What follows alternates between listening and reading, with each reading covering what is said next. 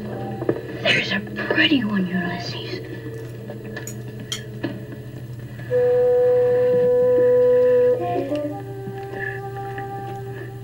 There it is.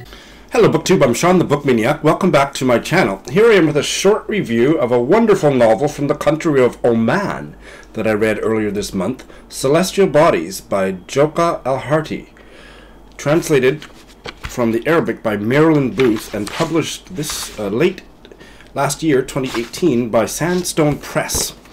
What a wonderful novel. This was a five star read for me, and I don't want to tell you too much about it because I think you just need to dive right in. But this is a almost a saga of several different Omani families. And the first thing that you should know, or that you will be running to Google to double check because you won't be believing what you read, is that yes, indeed, slavery was not abolished in the country Oman until 1970.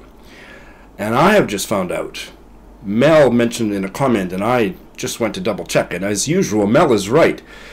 Slavery still exists in Oman. There are, according to one human rights organization, still 26,000 people living in slavery in Oman. But it was mostly, I guess, abolished in 1970. And so this novel is populated by uh, citizens of the country of Oman, former slave owners, and former slaves, and chronicles several, I, I believe, at least three generations of the lives of these people, some of whom owned the others. And it centers on one family, really, but there's so many characters that are so fascinating that I hesitate to say that it centers on one family. But that family would be Salima and her husband Azan, who had three daughters that lived into adulthood Maya, Asma, and Khawla. And I'm just going to tell you a little bit about their daughter Maya, who married Abdallah, because to me that was the most fascinating part, or the, that I followed the most avidly. But there are a cast of other characters, like I say, some former slaves and some former slave owners that people this novel. Maya marries Abdallah, the merchant's son, she doesn't love him. She has her heart set on somebody else. She marries him. They have their first child is a daughter, and Maya, and this daughter was born in 1981. Maya, who's never had any exposure to the West or anything that we find out about, says that the daughter's name will be London.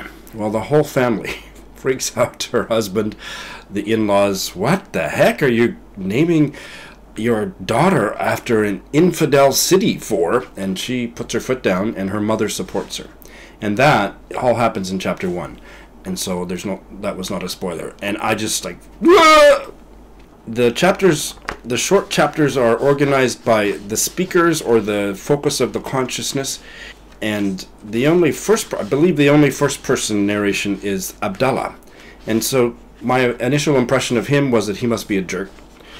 But in fact, he has a very round character that has many facets to it, and he was fascinating in his family, especially his relationship with his asshole father and the slave that raised him after his mother died. And she's a large presence in the novel, Zarifah. All of these stories interweave. I had difficulty following it. There is a family tree that helps to a certain degree. I followed it as closely as I could. The, the things that I was not able to sort out or keep track of did not detract from this being a five star read for me.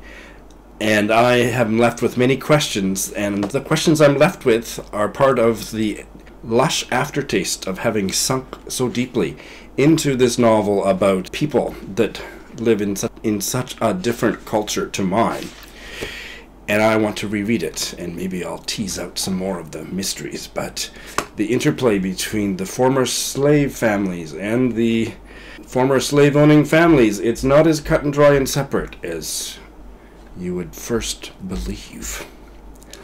I'm just going to share a, sh- a short paragraph from chapter one, and this is the it's actually uh, two paragraphs, but one's very short. It's the end of chapter one, and this is where Maya's mother, Salima, stands up to Maya's new husband, Abdallah, about the naming of their firstborn child, London. Listen, son, Salima said to her daughter's husband. Abdallah, listen, about your wife here. She's had her first child, and it's a girl. Girls are a blessing. A girl helps her mother and raises her younger brothers and sisters. What we need for this new mother are 40 live chickens and a big jar of good pure mountain honey, plus a pot of samna, the best country butter churned straight from a cow. When London is a week old, I'll shave her head, and you will make an offering, as much silver as the little one's hair weighs. It'll be enough to buy a sheep. You'll have it slaughtered, and you'll give out the meat to the poor.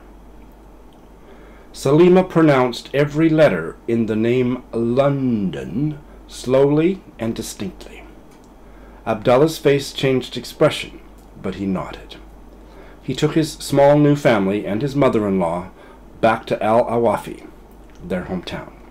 So, just the mix of old traditions and new incursions into the culture, the name London, and all the traditional mountain honey and butters churned and uh, offerings of silver that equal the little baby's the weight of her first haircut just sets up an explosion of old and new and eastern and western and conformity and confrontation that pepper this novel in a way that I could barely put it down. I recommend it highly. It's not a book for everybody, so if what I've said resonates for you, please pick it up. But it's uh, definitely a Marmite book. But I loved it. Celestial Bodies by Jokha Alharti. Thanks for watching.